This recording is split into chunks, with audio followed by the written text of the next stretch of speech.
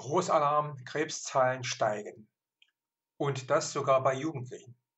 Die Zahl der Krebserkrankungen nimmt weltweit zu. Bis vor Jahren glaubte ich das erst einmal nicht und schob das auf mein beruflich bedingtes subjektives Empfinden, dass die Krebszahlen steigen würden. Aber mehr und mehr ließ sich diese Tatsache nicht weiter verdrängen, dass Krebs immer mehr zunimmt. Ich hatte hier an diesem Ort vor Jahresfrist auch schon geschrieben, wie reflektorisch Ärztinnen und Ärzte meistens darauf antworten, wenn man sie fragt, woran es wohl läge, dass Krebs immer mehr zunimmt. Deren Antwort ist dann fast immer einhellig, das liegt an dem hohen Lebensalter, was wir Menschen dank der Medizin erreichen. Früher haben die Menschen ihren Krebs nicht erlebt. Jetzt ist es anders. Ende des Zitats. In meiner mir eigenen Ungläubigkeit reagiere ich auf so etwas stets mit dem Hinweis auf die zahlreichen Naturvolksgruppen, die in Hunderten von Jahren nicht eine einzige Krebserkrankung zu verzeichnen haben, jedoch wesentlich höhere Lebensalter als wir sogenannten modernen Menschen erreichen. Naturvölker kennen nicht einmal ein Wort für Krebs in ihrer Sprache. Und dann kommt noch die bei uns stetig steigende Zahl der Leukämien bei kleinen Kindern dazu.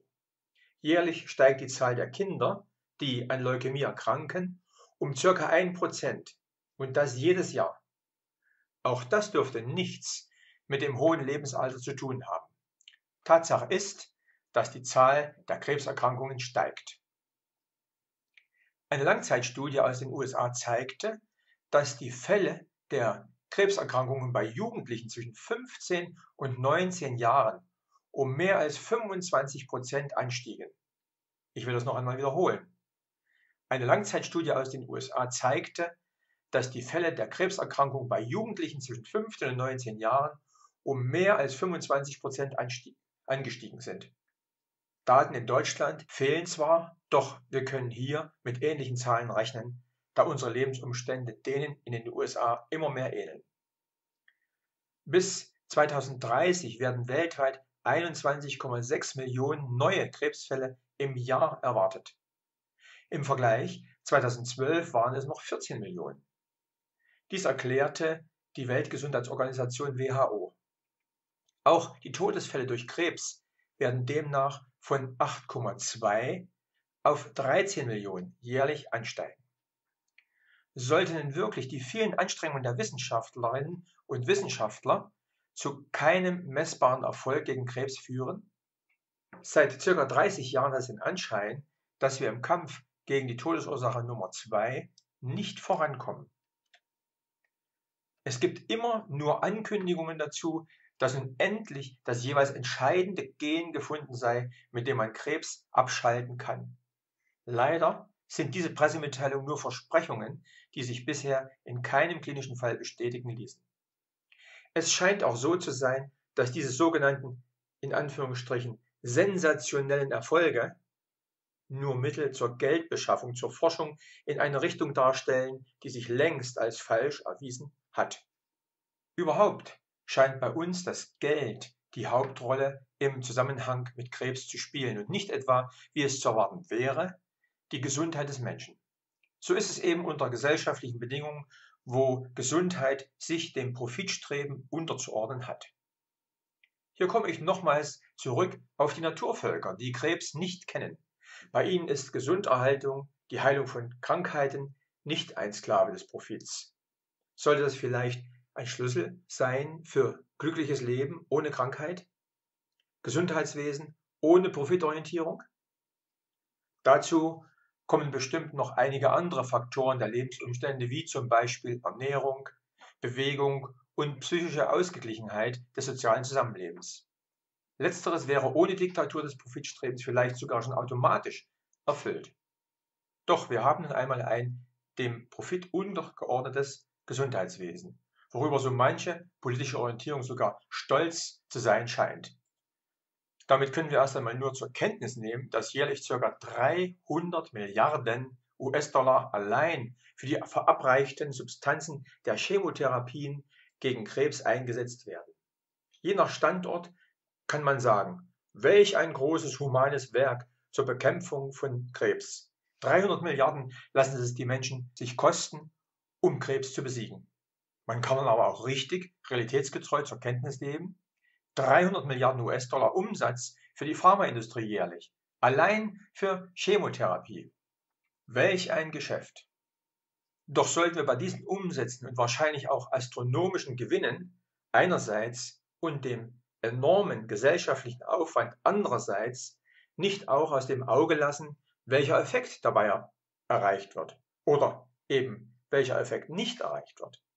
Wir reden hier über eine Therapiemethode, die vielleicht im Kampf gegen Krebs weltweit zu gerade einmal 1 bis 2 Prozent erfolgreich ist.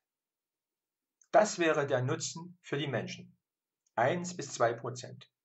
Der Schaden ist schon damit beschrieben, dass wir oft ganz erstaunt sind, in Anführungsstrichen, wie gut derjenige oder diejenige die Krebschemotherapie vertragen hat. Anführungsstriche zu Ende. Und dabei gibt es längst erfolgreiche Verfahren. Ich schrieb schon mehrfach darüber oder handelte dieses Thema in meinem Agile Smart ab. Herr Dr. Caldwell hat in seinem beruflichen Leben gezeigt, dass mit Methoden jenseits von Vergiftung mit Chemotherapiesubstanzen sehr wohl Erfolge gegen Krebs zu erreichen sind. Er verfügt über mehr als 400 Methoden gegen Krebs und ist mit ca. 93% erfolgreich. Das ist nachgewiesen. Sehen Sie sich unten im Text im Link seine Argumente an und folgen Sie seinem Beitrag auf YouTube. Kürzlich habe ich aus dem Buch Krebs ist ein Pilz von Dr. Simoncini gelernt, dass mit einer einfachen Substanz, nämlich Natriumbicarbonat, ein erfolgreicher Kampf gegen Krebs möglich ist. Damit ist Dr. Simoncini seit mehr als 35 Jahren erfolgreich. Warum haben die meisten Krebspatienten davon noch nichts gehört? Die Zahl 300 Milliarden US-Dollar ist die Antwort. Ich habe ja schon im Zusammenhang mit meinem Gerät Agile Care auf die entscheidende Rolle von Parasiten im Zusammenhang mit Krebs und mit anderen Krankheiten hingewiesen. Daraus ergeben sich auch die von jedermann ausführbaren Anwendungen zur Ertüchtigung des eigenen Abwehrsystems. Denn nur der Mensch allein kann sich heilen von Krankheiten. Die Bedeutung von Parasiten im Zusammenhang mit zahlreichen Erkrankungen wird jetzt auf dem Gebiet der Krebserkrankungen sogar von der Schulmedizin anerkannt. Letztlich berichtete ich darüber, auch in Agismart, dass der TV-Sender Arte die Forschungsergebnisse der Heidelberger Wissenschaftler dazu brachte.